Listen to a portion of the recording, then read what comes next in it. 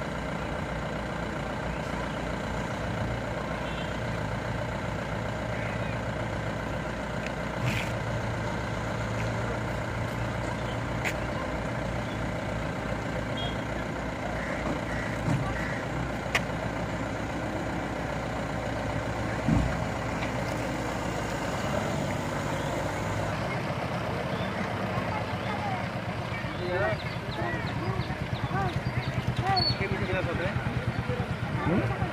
জমিটা কিনা সাথে মিটাইলে ওটা বাইরে পড়ে যেত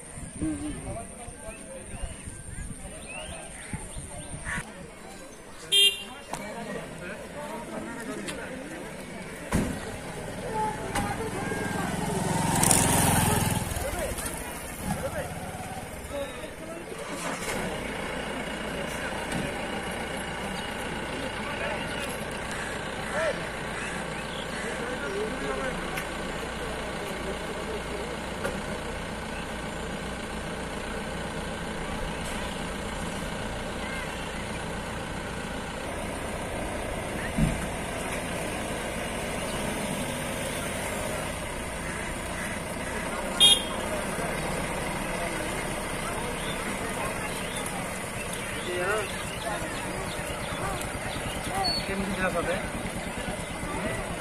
Bureau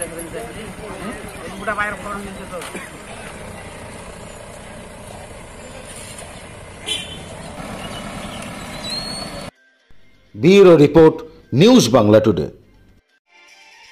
আমরা আসছি নতুন রূপে আপনার শহরে। চোখ রাখুন সঙ্গে থাকুন। দেশ বিদেশ রাজ্য রাজনীতি শিক্ষা সংস্কৃতি অর্থনীতি ক্রীড়া অপরাধ বিনোদন। সমস্ত খবরের তাজা আপডেট পেতে চোখ রাখুন আমাদের ইউটিউব চ্যানেলে। আমাদের চ্যানেলটিকে সাবস্ক্রাইব করুন ও পাশে থাকা বেল আইকনটি প্রেস করুন।